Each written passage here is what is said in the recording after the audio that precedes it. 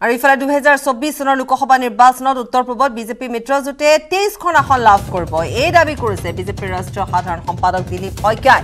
শইকীয়াৰ দাবী মতে অসমৰ চৈধ্যখন আসনতে জয়লাভ কৰিব বিজেপি মিত্ৰজোঁটে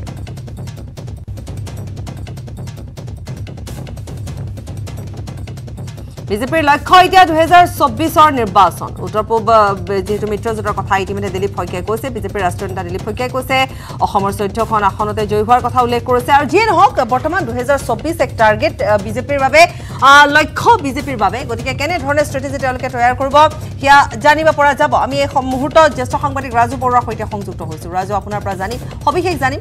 আটাইখিনি কথা সামৰি জানিম। ৰাজু।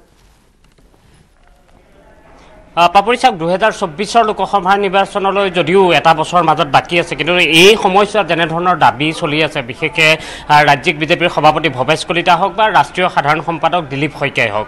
আজিৰ দিনটোত দুয়োগৰাকী যদি আমি ৰাষ্ট্ৰীয় সাধাৰণ সম্পাদকগৰাকীৰ ভাষ্যও চাওঁ দিলীপ শইকীয়াই এটা কথা তেওঁ কৈছে যে অসমৰ যি চৈধ্যখন আসন আছে লোক লোকসভাৰ সেই চৈধ্যখন আসনেই বিজেপিয়ে লাভ কৰিব আৰু যদি চৈধ্যখন আসন লাভ নকৰে অৰ্থাৎ তেওঁলোকে টুৱেল্ভ প্লাছ আসন তেওঁলোকে লাভ কৰিব বুলি কৈছে। অৰ্থাৎ মিছন টুৱেল্ভ প্লাছ যিটো আছে বিজেপিৰ ইতিমধ্যে ভৱেশ কলিতায়ো সেই কথা পৰহিৰ দিনটোত আমাৰ আগত ব্যক্ত কৰিছিল আৰু আজিৰ দিনটোতো ৰঙিয়াৰ যি যুৱ মৰ্চাৰ ৰাজ্যিক কাৰ্যনিৰ্বাহক চলি আছে তাত সেই কথা ইতিমধ্যে ব্যক্ত কৰিছে। আৰু তাত যদি আমি গোটেই কথাখিনি চাবলৈ যাওঁ তেনেহ'লে দুহেজাৰ ঊনৈছৰ যি লোকসভা নিৰ্বাচন সেই দুহেজাৰ ঊনৈছৰ লোকসভা নিৰ্বাচনত বিজেপিয়ে নগাঁও চিটটো নগাঁৱৰ যিখন আসন আছিলে নগাঁও আসনত যিহেতু সেই সময়ত বিজেপিয়ে প্ৰক্ষেপ কৰিছিল ৰূপক শৰ্মাক আৰু তাৰ পৰিৱৰ্তে কংগ্ৰেছৰ পৰা প্ৰক্ষেপ কৰা হৈছিল প্ৰদ্যুৎ বৰদলৈ। কিন্তু সেই সময়ত কংগ্ৰেছ আৰু এ আই ডি এফৰ মাজত মিত্ৰতা যিহেতু তেওঁলোকৰ মাজত আছিলে এটা বুজাবুজি কংগ্ৰেছ আৰু এ আই ডি এফৰ মাজত বুজাবুজি আছিল আৰু সেই বুজাবুজিৰ ভিত্তিতে সেই সময়ত এ আই ডি এফে কোনো ধৰণৰ প্ৰাৰ্থী নগাঁৱত প্ৰক্ষেপ কৰা নাছিল।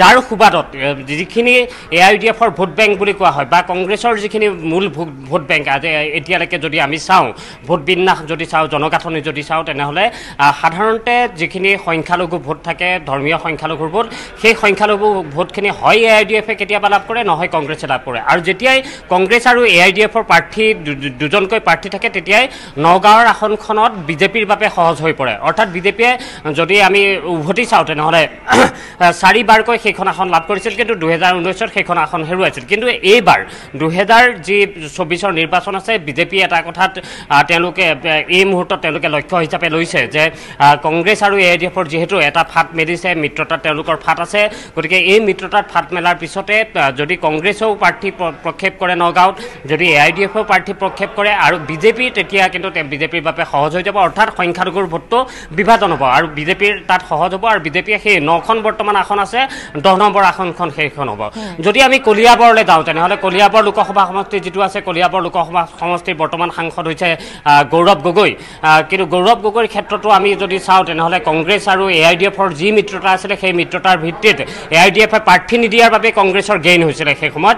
আৰু বিজেপি মিত্ৰজোঁটৰ অৰ্থাৎ মণিমাধৱ মহন্ত অসম গণ পৰিষদৰ যিগৰাকী প্ৰাৰ্থী আছিল তেওঁ পৰাজয় বৰণ কৰিবলগীয়া হৈছিল। গতিকে সেই যিটো অংক আছে তাত তেওঁলোকে এঘাৰ নম্বৰ আসন হিচাপে লৈছে কলিয়াবৰ আসনখন। আমি যদি বাৰ নম্বৰ আসন কোনখন বুলি চাওঁ তেনেহ'লে বি পি এফৰ সৈতে সেই সময়ত বিজেপিৰ মিত্ৰতা আছিলে আৰু তেতিয়া প্ৰাৰ্থী আছিলে দুহেজাৰ ঊনৈছত প্ৰমীলা ৰাণী ব্ৰহ্ম। নৱশৰণীয়াৰ আহ, বিৰুদ্ধে প্ৰমীলা ৰাণী ব্ৰহ্ম সেই সময়ত পৰাজিত হৈছিল। কিন্তু এইবাৰ অংক হৈছে তেওঁলোকে বিজেপিৰ যে বিজেপি মিত্ৰজোঁটৰ হয় বি পি এফ বা বিজেপি বা ইউ পি পি এলৰ যদি প্ৰাৰ্থী থাকে তেওঁলোকে সকলো সমৰ্থন আৰু এ আই ডি এফে যদি কেনেবাকৈ প্ৰাৰ্থী দিয়ে অৰ্থাৎ নৱশৰণীয়াৰ সৈতে তেওঁলোকৰ যিটো ফাইট হ'ব যিটো অবড়ো ভোট বিভাজন হ'ব সেই অবড়ো ভোটেৰে বিজেপিৰ সেইটো গেইন হ'ব। অৰ্থাৎ তেওঁলোকে বাৰখন আসন। আৰু তেওঁলোকে আসন হিচাপে পুনৰ যদি আমি ধুবুৰী চাওঁ তেনেহ'লে ধুবুৰীয়ে সেই কথা বিভিন্ন মহলত সেয়া চৰ্চাও চলিছে যে ধুবুৰী যিখন আসন তাত বদৰুদ্দিন আজমল নিজকে প্ৰক্ষেপ কৰাৰ পিছতো কেনেধৰণে কেনেবাকৈ বিজেপিলৈ আহি যাব পাৰে নেকি? বিজেপি মিত্ৰজোঁটৰ হাতলৈ আহিব পাৰে নেকি? তাতো কিন্তু অংক আছে।